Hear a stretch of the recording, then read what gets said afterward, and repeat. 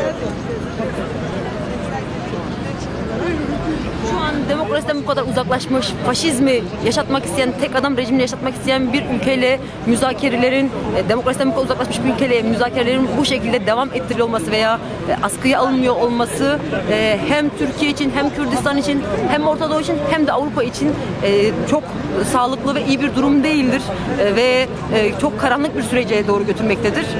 Last week and the Tayyip Erdogan government ordering the prosecutors unlawfully uh, to uh, detain uh, 11 uh, deputies and they were they are in uh, prison now under uh, irrelevant uh, charges of implicating in terrorism. But in Turkey, terrorism doesn't mean what the Europeans understand. Uh, uh, uh, in a simple way.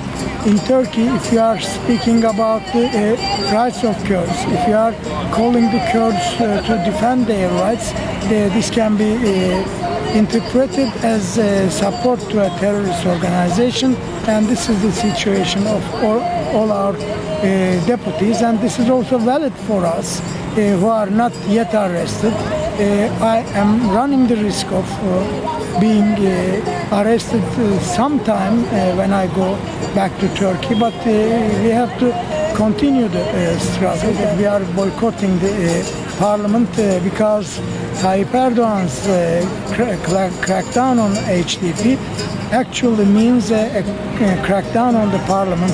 Now the three parties in the parliament have established an inner parliament making the decisions among themselves and leaving the HDP only the right to say no if we can open our mouths.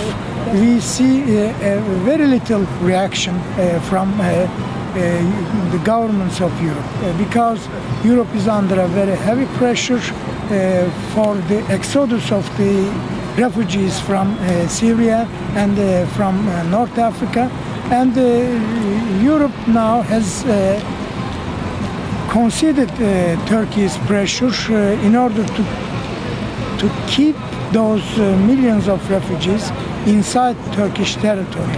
And uh, Tayyip Erdogan this way buys the silence of Europe. Bizim söylediklerimiz nettir. Şu an Türkiye'de e, tamamıyla demokrasiden uzaklaşmış bir Türkiye için e, Erdoğan'ın bu tek adam rejimini inşa etmesi üzerine gittiği bu yolda e, Avrupa Birliği'nin, Avrupa ülkelerinin e, bu konuda sessiz kalması veyahut sonuç alıcı tavır almaması e, hem Avrupa için hem Türkiye hem de Kürdistan için ciddi bir sorundur. Ve bu anlamda biz e, ciddi bir tavır alma noktasında bir çağrı yapmak adına buralardayız.